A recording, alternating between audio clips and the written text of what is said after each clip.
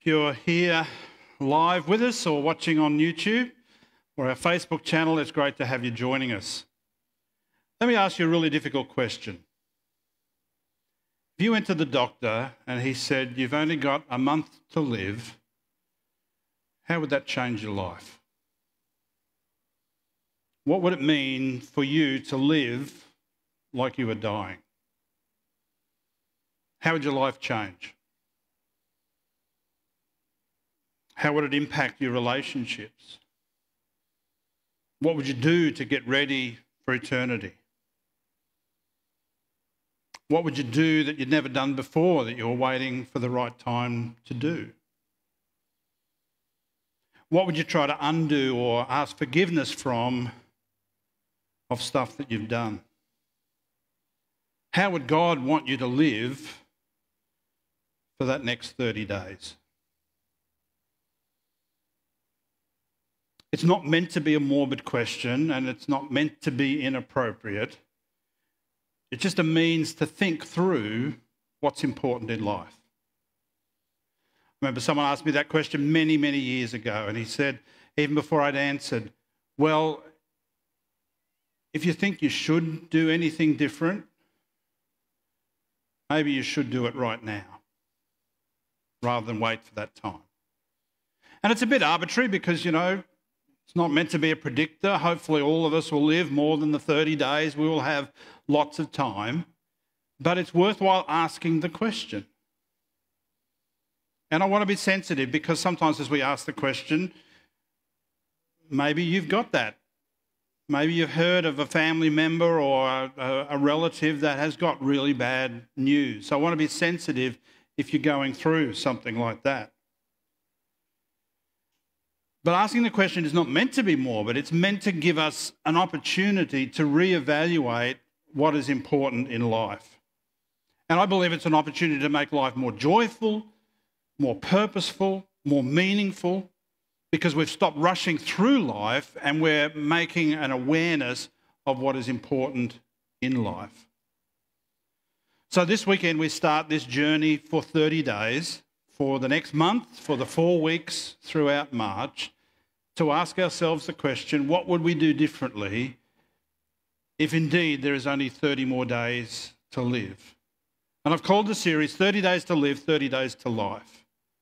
And it's a bit of a play on words because it is 30 days or a month if we had that opportunity only to live that time. And hopefully, it's an opportunity to have those 30 days to live a more abundant life, to live a more fulfilling life. But it's also, as we approach Easter, an opportunity to have 30 more days until we hit that Easter period, where we look at what Jesus did that brings us life. So, in 30 days, we start that Easter series.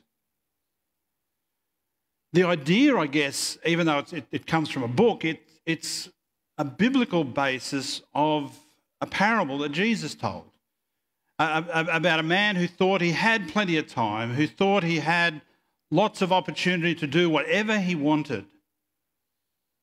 And he didn't. Jesus told this parable. A rich man had a fertile farm that produced fine crops. He said to himself, What should I do? I don't have room for all my crops. And then he said, I know. I'll tear down my barns and build bigger ones. And I'll have room enough to store all my wheat and other goods. And I'll sit back and say to myself, My friend, you have enough stored away for years to come. Take it easy, eat, drink, and be merry. But God said to him, You fool, you will die this very night. Then who will get everything you worked for?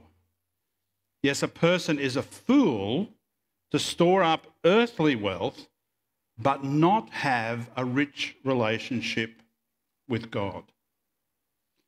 And that man in the parable, Jesus said, he's a fool. He's a fool. And we don't want to be called fools with what we do. We, we want to be prepared for eternity. Now, as I said, it's an arbitrary question because hopefully all of us have more than 30 days, and there's certain things that we want to put in place in our lives that are long term strategies. But it's about living life without regret. It's about living life not just thinking that we have an endless amount of time left on this earth. And that was the problem with this man that he wasn't living right and he wasn't going to die right. We've got to understand that the death rate is 100%. We're all terminal. We're all going to die. None of us is exempt, and none of us will escape. I don't often quote one of the popes, but one of them said, Someone should tell us right at the start of our lives that we're dying. Then we might live life to the limit every minute of every day. Because 30 days to live is not if, it's, it's when. We'll all get that. We're all getting closer to it. The Bible says that the Lord has numbered our days, and we don't get to know what that number is, but today is one less day that we've got to live than we had yesterday. And when it comes to the number, there's no negotiating, there's no bargaining, there's no borrowing from someone else's life. There's some things you just can't borrow. You can't borrow someone else's faith, you can't borrow someone else's relationship with God. It's got to be what yours is.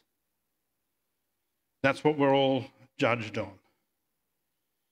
And none of us will live one second beyond the time that God has appointed for us. The departure flight, as much as all the flights these days seem to be delayed, our departure flight of life will not be delayed. We get what we've got. And we're all going to live somewhere forever. So, as I said, rather than it being a morbid thing, it just is a chance to evaluate what is important. What are we going to live for? How will we live differently if we just suddenly come to that realization that life is short? What, what do we want to fit in that we didn't before? And all those decisions are not just about the legacy that we leave behind, the impact that we have for those around us, but also eternity. Paul says in the book of Romans, another reason for right living is that you know how late it is. Time is running out. Wake up, for the coming of our salvation is nearer now than when we first believed.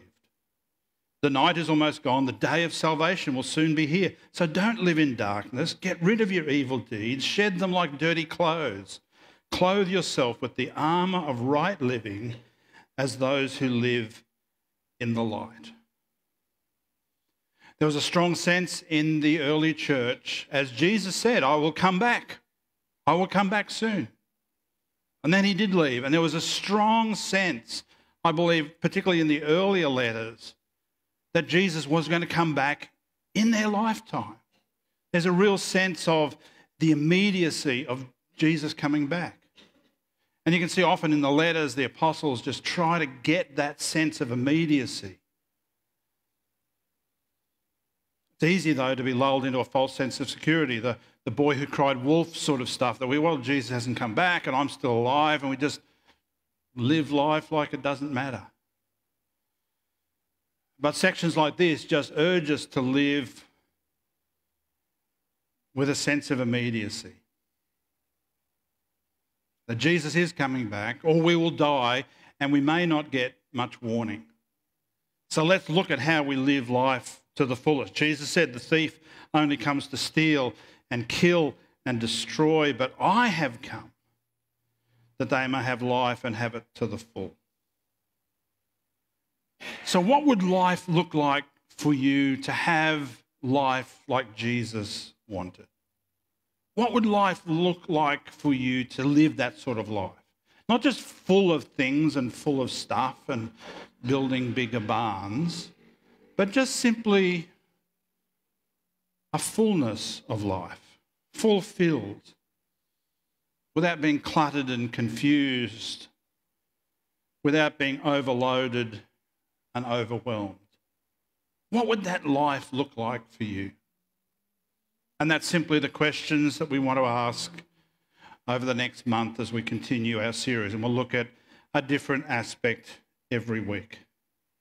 But I just hope, and I'm praying for everyone that, that's here and those that are watching online, that you would consider seriously enough about this that you might make some adjustments. You might make some improvements. You might reprioritize some things and let other things fall away so that you'll be living the life like Jesus wanted you to. So let me look at three things today and then we'll look at some more in the next couple of weeks. First one is this live with a sense of urgency. That verse that we read before in Romans, Paul said, Another reason for right living is that you know how late it is. There's an urgency in those words. If you knew time was running out, you'd start to get a bit more urgent. If you remember back in the day, you used to take exams and you're doing all that. I know it brings back bad memories for some of you. But the teacher says it's half an hour to go or it's five minutes to go. What happens? You start to write faster or you start to type faster. There's, the, the time's running out. Let's go. Let's, let's fit as much as I can in. I've got so much more to do. I think Paul is trying to get that sense of urgency to the Roman Christians. Instead of the, the someday or one day. You know, it's a dangerous word when we, oh, I'll get to that one day, or someday I'll get around to that. Someday I'll have more time for the kids. Someday I'll take that trip. Someday I'll get fair dinkum with my faith. Someday I'll, I'll, you know, one day I'll get around to it. We might not have that time. What is the someday, one day thing for you that you are going to get around to that you haven't got around to yet? What is the thing that you would fix up in your life? What is the thing that you would try to undo or get rid of? The problem of the someday is that robs us of the this day. Psalm 118 This is the day the Lord has made. Let us rejoice and be glad in it. And there's often that, that sense of urgency in the scriptures as the writers tell us to make the most of what is today. Don't wait till tomorrow to do it. Don't wait till you're able to sort things out. Make the most of what is today. Another verse that says, if you wait for perfect conditions, you'll never get anything done. I'll, I'll do that when I'm, when I'm there. I'll do that when I'm older. I'll do that when, you know, you never get around to it. Now, living with urgency doesn't mean that you rush faster and do more stuff and do, do the exam thing. Frantic doesn't mean the same as urgent. But to live with urgency is just an awareness that life is short. I better make this and do this while I can. And the trouble, even with a question like that, if you only had 30 days to live, if you're that sick, you might not be able to do those things. So while we are well, while we have that opportunity, what would you do that is urgent? Number two, live with a sense of eternity. Live with a sense of eternity. Back in that verse in Romans, Paul says, Wake up, for the coming of our salvation is nearer now than when we first believed. The night is almost gone, the day of salvation will soon be here. As much as it's a mistake to take today for granted, it's also a mistake to take eternity for granted that it seems so far away and so distant and, and so much into the future that we needn't bother about it now. We'll get around to that sometime. And while we need to embrace today, we need to understand that today is not all there is. And that it seems a long way away, but we will have to face it one day. And he pleads for us to wake up to say, the day of salvation is a lot closer now than when we first believed. And, and there's the, the, the three tenses of salvation. The Bible talks about us that in the past there was a point when we were saved. I can think back to my time as a 10 year old in Toowoomba at Margaret Street Church of Christ, where I was baptised into Christ by Dr. Arnold Caldecott. And I can look back, and you, a lot of you can think back to that time when you were saved. The Bible says that we are being saved. It's a present continuous tense. God is working on us to make us all more like Jesus. There is an ongoing work of God in us. But there is a time that we will be saved into the future. And we need to be ready for that. Paul is saying that the full and glorious completion of the salvation is closer today than it was yesterday. And to ask the 30 days question is would you be ready for that? Would you be ready if you were given that time limit? Or, and for the Christian, it's not just 30 days to live, it's Jesus will come back one day. And he'll blow the whistle, and it's full time. The siren will sound, and that's it. Are you ready for that day? Or are you waiting for the time to be right to be ready? Paul says in 2 Corinthians, our dying bodies make us groan and sigh. You ever feel that? When you, oh, yes. So relatable, that one, isn't it? There's a bit of groaning when you get up, been to the gym, had a couple of those hard sessions, or feel it the next day. But it's not that we want to die and have no bodies at all. We want to slip into our new body. You get a new body so that these dying bodies will be swallowed up by eternal life. So, one of the things I'd love you to think through in this 30 days, starting now, is are you ready for eternity? Live with one eye on today and one eye into the future. And thirdly, is this live with a sense of priority. How would your priorities change if you only had 30 days? What would you spend your last days doing? And really, the first two that we talked about really inform this challenge of how to live with that sense of priority. If there's an urgency about life, if there's an eternity that is to come, what priorities would we put in place to live like that? How do we live with this sort of, you know, bifocal vision? You get bifocals in your, in your glasses or even contacts these days. How do you live with that both near and far distance, both at the same time? And Paul says in Romans 13 these words don't live in darkness, get rid of your evil deeds, shed them like dirty clothes, clothe yourself with the armour of right living as those who live in the light. And I like that word picture that he gives. You know, if you've been working in the garden, if you've been sweaty, you're out for a run or a ride, you're just really dirty. And you want to shed those old clothes. And that's the sense that he's getting with our evil deeds. We can get rid of them like that because there's a priority of right living because of all those other things that we've talked about. And it requires adjustment, it, requires a decision to do that A writer by the name of Diane Ackerman said, I don't want to get to the end of my life and find that I've just lived the length of it. I want to have lived the width of it as well. I want to do the things that's important.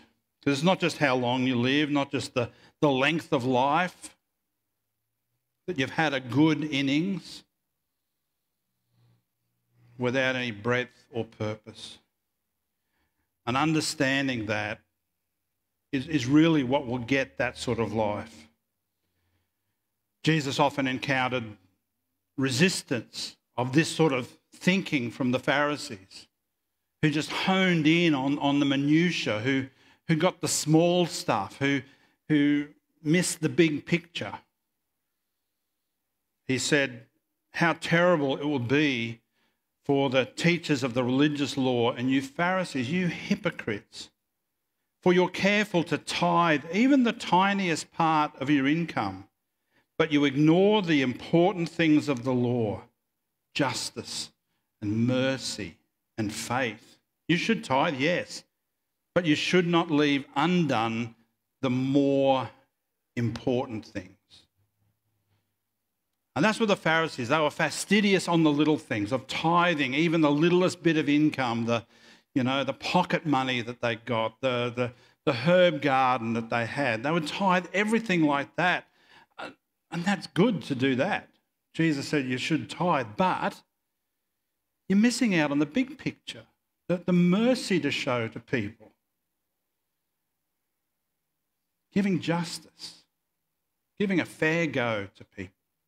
You've totally missed out on that. Jesus said later that it's love that's going to be the most important thing.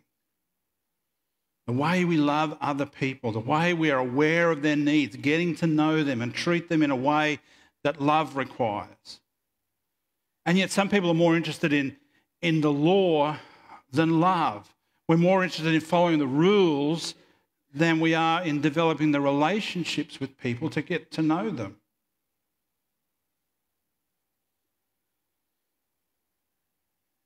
When you live like you're dying, you get a sense of priority of what's important, of how love is important. As someone said, the main thing is to make the main thing the main thing. And to keep the main thing the main thing. Because we often get into what is not the main thing and get bent out of shape or worried or critical of the little things rather than the main thing. So I hope you're able to take this journey with us over the next couple of weeks to look at those things that are important 30 days to live, 30 days to life. And I want to share a little bit of a story as I've sort of just canvassed the idea. We have um, our staff, as you know, um, Sarah and Magdalene, we work Mondays and Fridays when we're together. And I work the other days and we have lunch together and often talk about things that are coming up and make plans and everything like that. And I was considering this idea for the series in, in the lead up to Easter, and I thought I'd talk to them about it and share some of the things that I've already shared with you. You know, what would what would you think? You know, what would you do differently? if um, you had an opportunity only to know that you were going to live only for 30 days. And Nigel and Sarah are great people. You know, you've seen Sarah's passion up here. They're deep spiritual people. I said to Sarah, what would you do differently if you only had 30 days to live? And she said, I'd eat more dessert. and Magdalene said, I agree. And I was looking for something, you know, with a bit more substance, with a bit more, oh, you know, meaningfulness. I heard someone else agreed. Someone would wear those purple stilettos and get them, you know. So everyone will be different. So Sarah, as she's done, she said, I've already thought of this idea. And I said, What? She said, Well, you know, when we in winter, we get different people to make soup, and we do a pop up thing after church, and we call it Super Sunday. Get it? S O U P E R, Sunday on the day. And she said, We can do this, we'll have more desserts, and we'll call it Super Sunday. So she did the graphics. She said, Oh, we can do, you know. So it's great that she is taking her job seriously here at the church not just looking after the children, but coming up with these, these thoughts to do. So next week, Pop Up Cafe will be Super Sundays. And again, through the week, she's, she's not even working at the office. She said, Oh, I've researched all this stuff. I found the ice cream. She's ordered it already. She's gone ahead. Um, so please come next week and eat it because I promised anything that's left over she can take home. So, um, so Ben, you, we're going to hide some for you, okay? So, yeah, come next week. Um, as I said, I don't want, want to make it just morbid and, and, and, and stuff like that, but just help us to really take seriously what life is about. That we'd live life without regrets, without wishing we'd done this differently or more or better. So we'll even have desserts next week. It's Super Sunday next week, so I hope you can come for that. Let's pray. Heavenly Father, thank you for the day that we have. This is your day. Today is the only chance we might get. I hope no one passes away in this time, but Lord, we've got to be realistic that everyone's life will come to an end one day. So help us to take these questions seriously and not live life with regrets or thinking we should have or could have or would have done differently if we'd had the opportunity. Now is the time. And Lord, each of us would answer differently. Each of us would answer that question in different ways. But help us to live with a sense of urgency, to live with a sense of eternity, to meet you one day. And to prioritize the things that are important to you in our lives. So, Lord, we worship you for giving us time, for giving us the opportunity to hear, for giving us this day. Lord, we worship you in it and pray in Jesus' name. Amen.